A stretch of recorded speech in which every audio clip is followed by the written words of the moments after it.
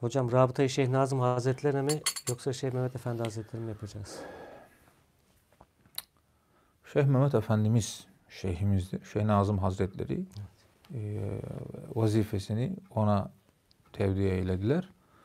Şeyh Mehmet Efendimiz'e yapılması gerekiyor. Aslen yani. Ama bağlantı noktasında hani daha önce Şeyh Nazım Hazretlerine bağlı olan insanlar hani bir sıkıntı çekerlerse öyle Şeyh Nazım Hazretleri ile Şeyh Mehmet Efendimiz'e kalplerini getirmeleri daha rahat oluyorsa Şeyh Mehmet Efendimiz buna izin vermiş yani. Ama aslen e, şeyhimiz kim? Şeyh Mehmet Efendimiz. Ona rabıta yapılması gerekir. Mürşidi Kamil nasıl aranmalı? Mürşidi Kamil vesvese konusunda da anlattığımız üzere kalbe samimi niyeti koyacak kul. O samimi niyette de diyecek ki ya Rabbi ben seni istiyorum, beni sana getireni istiyorum. Bu niyetinde dünyalık bir garez taşımayacak, maksat taşımayacak. Aşk-ı ilahiye ermek niyetiyle ben bu yola çıktım.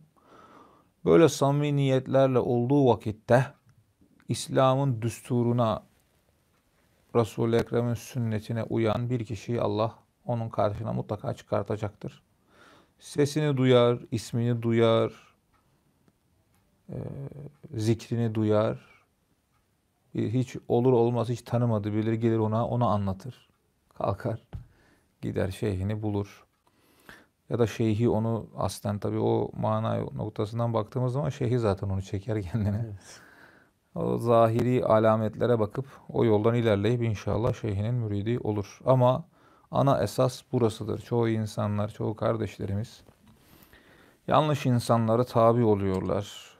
Sonra da e, tarikatın da üzerini çiziyor, şeyhlerin de üzerine çiziyor. Böyle bir hastalık da var zamanımızda.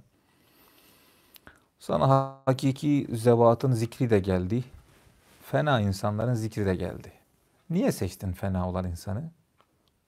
O cemaat daha şaşalı. O cemaat daha paralı.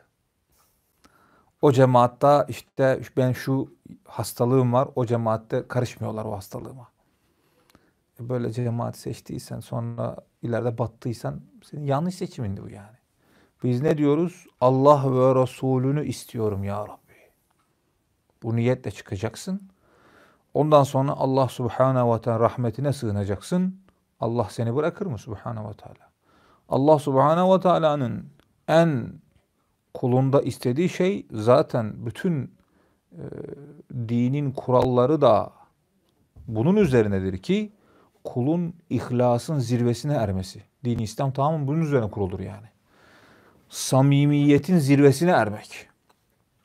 Ne yaparsa yapsın sırf Allah için yapmak. Celle Celaluhu. E sen daha İslam'a girmeden önce mesela bazı insanlar Yahudilikte, Hristiyanlıkta samimiyeti elde ediyorlar. Allah Subhanahu ve Teala hemen onları İslam'a çekecek vesileleri gönderiyor. İslam'ın içerisinde samimiyeti elde etmişsin. Ya Rabbi senin ve Resulünü istiyorum. Senin aşkını istiyorum. Dünyavi hiçbir şey gözümde gö değeri yok, kıymeti yok. Bunu kalbine koyduğu zaman Allah seni tutup çekecek mutlaka Celle Celaluhu. Zaten onu istiyor Rabbimiz Subhanahu ve Teala tutar seni kendine çeker sonra o içindeki o tomurcuk halinde olan o hüsnü güzel niyeti Allah koskoca çınar haline getirir Subhanahu ve Teala. Sen de nice insanlara gölge yaparsın yani. Evet. Ee, şeriat tekrar dünyaya hakim olacak mı? Kesinlikle. Muhakkak hakim olacak. Ha ne zaman olur? Bizim gidişattan biz derken şeyhimizin, büyüklerimizin söylediği üzere Mehdi Aleyhisselam zamanında tekrar hakim olur.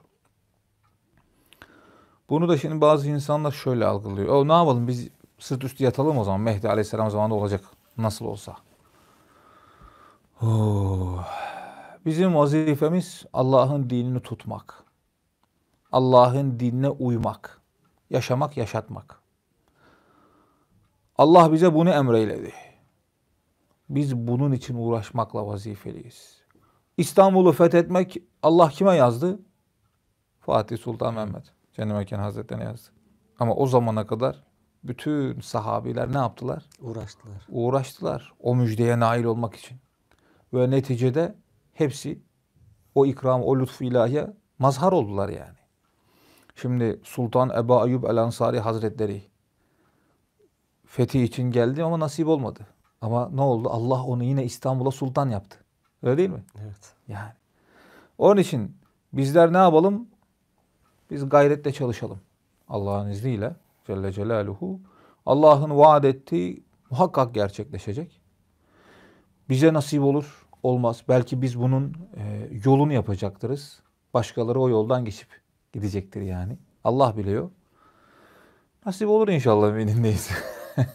inşallah.